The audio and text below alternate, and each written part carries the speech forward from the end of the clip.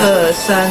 登上捐血车，总统东看西瞧，还是坐。看来这台以自己名字命名捐出的捐血车，总统很尬意。只是党职选举这一天，总统出席北市小英之友会活动，难道是暗挺英系推派的主委人选张茂南吗？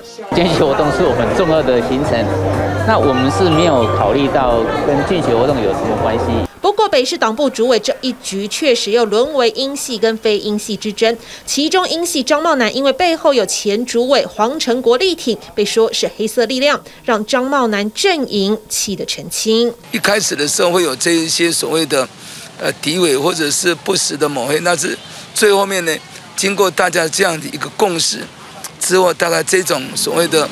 呃，不雅的文章就不再出现了。我有承诺不做任何的攻击，然后在整个过程当中呢，我也是尽量的以我们基层的党员接触，我觉得为重要的一个选举的方式。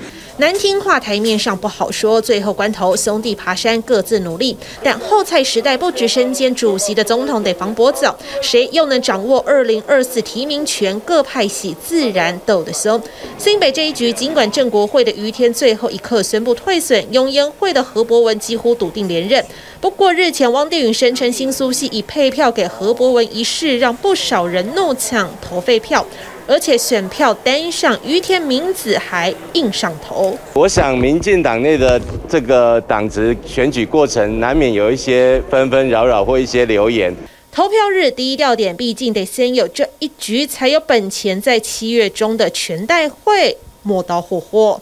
TVBS 新闻李国正、邱焕柔台报道，请支持 TVBS 国际 Plus 全新频道，让您扩大视野，掌握趋势，接轨全世界。恳请订阅，开启小铃铛。